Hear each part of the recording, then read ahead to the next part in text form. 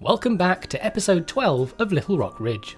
Today we will be adding the final attraction to the park as well as the last finishing touches. First, let's just have a quick look back at who built what so far.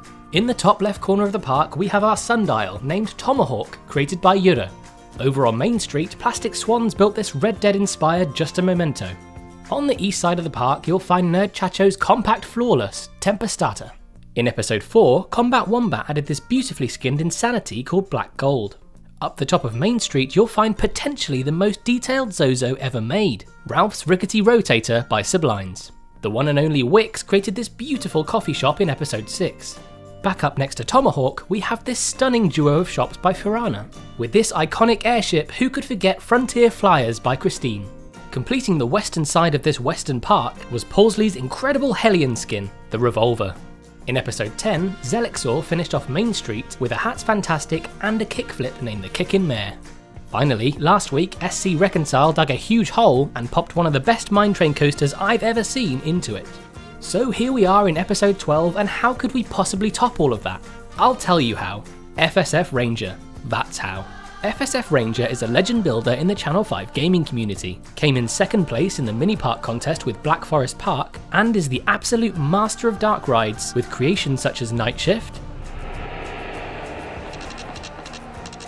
Night of Damnation,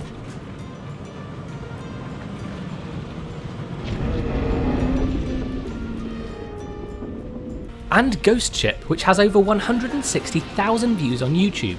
I'm sure you figured out by this point, Ranger will be adding a dark ride to Little Rock Ridge. What type of dark ride, I hear you ask? Well, dear viewer, the answer to your question is an indoor log flume. As FSF Ranger is a voiceless creator, he wrote a script for me to read on his behalf. However, I'm sure you're absolutely sick of my voice by this point. Here to present Pioneers Creek on his behalf, with one of the loveliest voices I've ever heard, is one of the biggest Planet Coaster streamers on Twitch, Poetry Slam 78. Hi, I'm FSF Ranger. Playing Planet Coaster since the release, I specialize in very large, detailed dark rides and theme parks, which I show on my YouTube channel. Now that Moomin has given me the task to build a size restricted compact dark ride inside his new series, the challenge was on. Building without DLC and TMTK is absolutely no problem for me, but building a dark ride inside a 13 by 14 grid is the exact opposite of what I normally do. Don't let the terms small and compact fool you because the effort is nearly the same. So I started where all things begin and placed down the ride. An indoor log flume to be exact. After some time, I figured out what the best and longest track possible for a dark ride this size could be. Then I built a nice, curvy queue to fit a lot of guests in it. Now the basic structure was done, it was building time. The queue and station were the first things I wanted to be done. I used a lot of wooden pieces to build shelters on both levels of the queue. After that, I added rocks and foliage and a small pond, including water fountains. I then covered the tracks near the station with wooden planks and began to build a big Western themed house. The exit is leading the guests above the track, so I built a wooden bridge to connect everything smoothly. A small western forest was the first scene you would encounter when the ride is starting. I have used colorable panels and curtains for the realism factor, followed by a lift disguised as a mining shaft, which is leading to the main scene of the ride. I've never actually used them before, but the red desert rocks were now my best friends. I built a canyon and used glowing panels and one of the round targets, which came with the later free update to simulate a sunset. You need a lot of patience to connect all the triggers, but the results definitely speak for themselves. The next scene is again another mining scene with some lighting effects. I really wanted to have all scenes pitch black and emerging from the darkness when the ride vehicle is coming. A small western town was the next scene, and I tried to build very tiny houses for it. The track goes into a jail next and drops down to the ground floor into a campfire scene. After that, I built a showdown inside a saloon with bandits and cowboys, and I used a lot of detailing in this room. I was glad there were so many good Western themed animatronics in the vanilla game. Normally, I create TMTK atoms myself using Blender when I'm building a different theme. Before the ride goes back to the station, it passes a flooded canyon. Now it was time to give the ride a realistic outside look. I placed a mix of rockwork, foliage, and western buildings around the track ride. The roof was the only part of the ride which guests couldn't see, so I placed a lot of cables and air conditioners on it. The last step is to place outside lights, adding more triggers, sound effects, and music to everything. And of course, more detailing here and there. A wise man once said, the last 10% affects half of the ride and makes it great. This was my contribution to Moomin Little Sock's Little Rock Ridge. I hope you guys like it.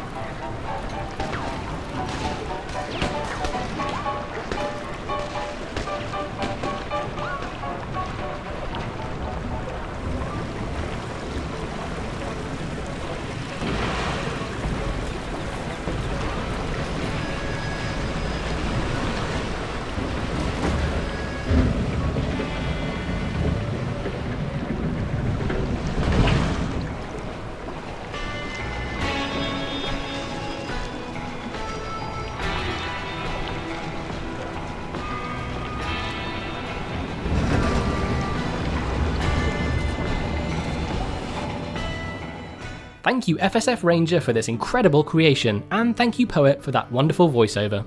If you don't already, make sure to go give Poet a follow on Twitch. You won't be disappointed. Despite being compact, Ranger has created one of the most detailed and stunning log flumes I've ever seen in Planet Coaster. Although, as soon as he joined the project, I knew I wouldn't be disappointed. With the final attraction in place, it's about time we open the park. And boy does it feel great to have guests wandering around. Introducing guests to the park allows me to see where traffic is heaviest, where the queue lengths meet demand, whether the park is well staffed, and much more. After spending a good hour adjusting ride prices and staff rosters, it's time for the finishing touches. Nighttime lighting is one of those necessary evils. It sometimes feels like a waste of time when the majority of parks only ever open during daylight hours. However, some will open for certain after dark events like Halloween. I used a variation of different fixtures to illuminate paths, plazas, buildings, and shrubbery.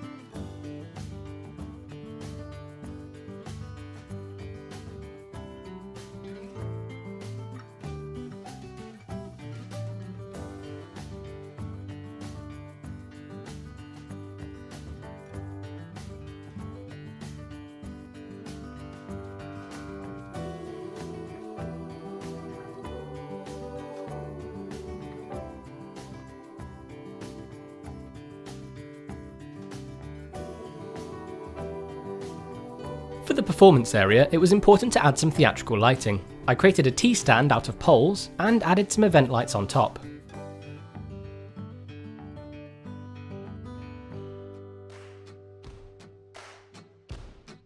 As a former lighting engineer, it pains me that these units can't be rigged and focused properly, but equally, having independent brackets would be a pain for most players.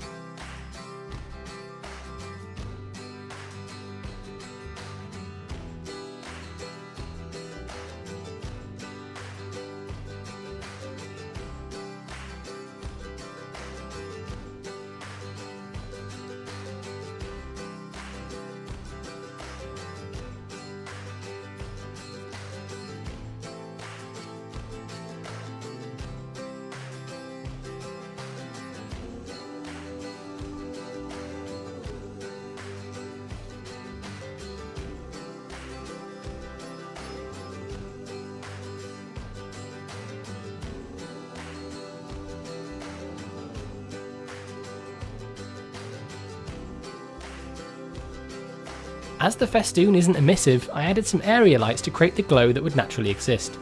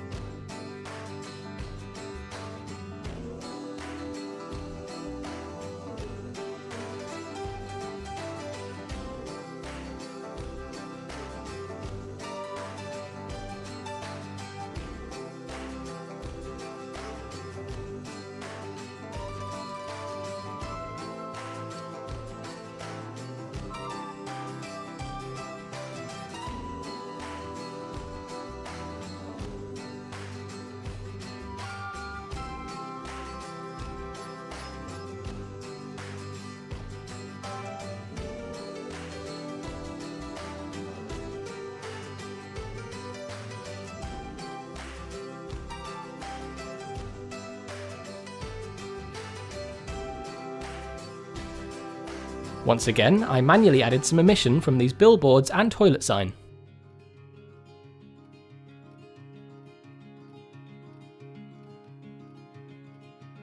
I added some floor lighting by the ATMs and, you guessed it, added my own light emission.